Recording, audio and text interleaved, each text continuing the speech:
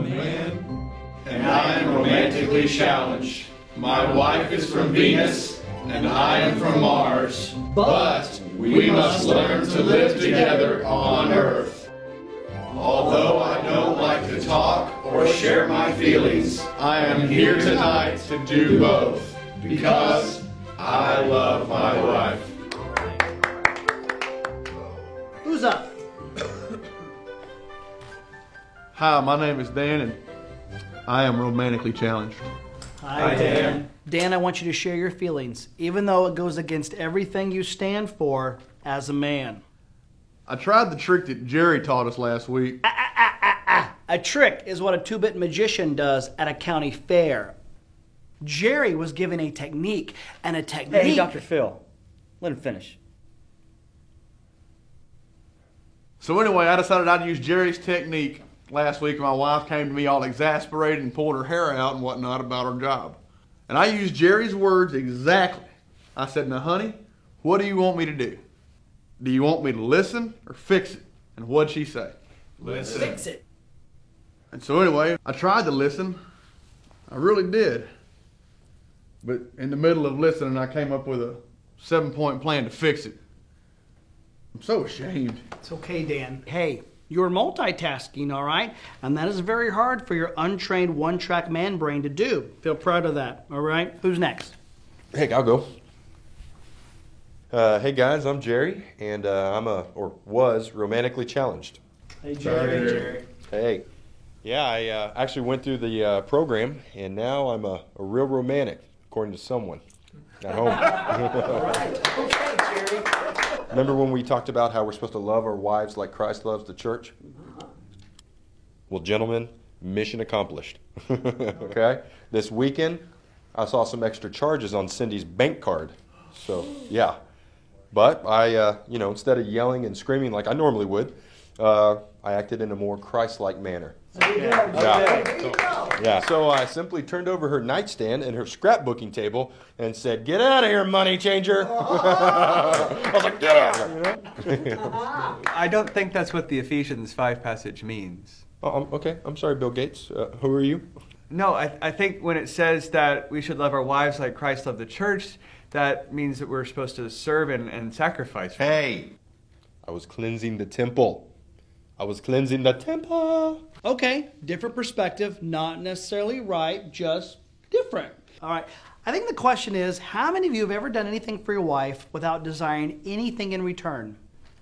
Maybe sitting on the couch, cuddling up to her, watching a movie, maybe the notebook.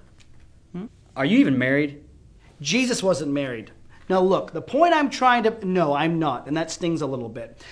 I have read a lot, well, parts of a lot of relationship books, and if anyone thinks they can lead this group better than I can, put your hand down, Jerry. I am sharing my feelings, and that's what you need to do with your wives. Practice makes perfect. Who wants to go next? I guess I could give it a shot. Hi, guys. My name is Sheldon, and I am romantically challenged. Hi, Sheldon. I thought I'd just share a few things from the program that I've learned so far. First, if your wife says she doesn't know where she wants to go eat, well, that's pretty much code for Italian and expensive Italian. And secondly, if you're getting her an anniversary gift, the Snuggies, not really a very good idea, even if it's the leopard print. Learn that one the hard way.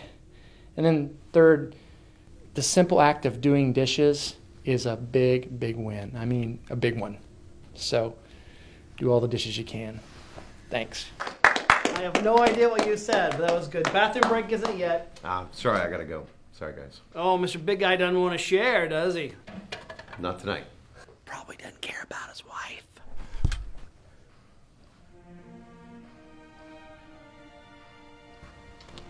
Okay, um, I'll share.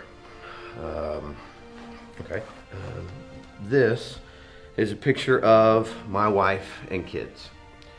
Um, I've been married for 20 years. We married young, and I don't regret it.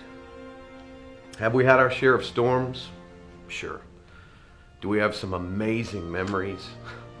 Too many to, to mention. Do I try to fix things? I do. But it's just because after 20 years of marriage, I still want to ride in and be my wife's knight in shining armor. I remember um, when we got engaged, her father looked at me and he said, Just love her the way Christ loved the church.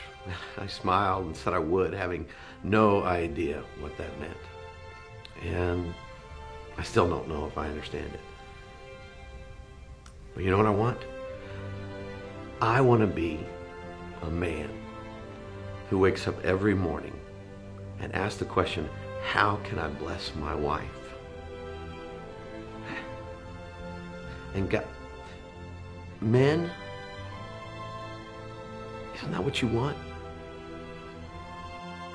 I mean, isn't your wife worth it? Hey, wait.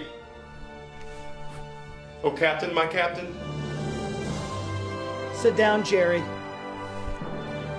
Oh, Captain, my Captain. Okay, enough. Sit down. What what is what is going on? Sit down. Please sit down. I need a wife.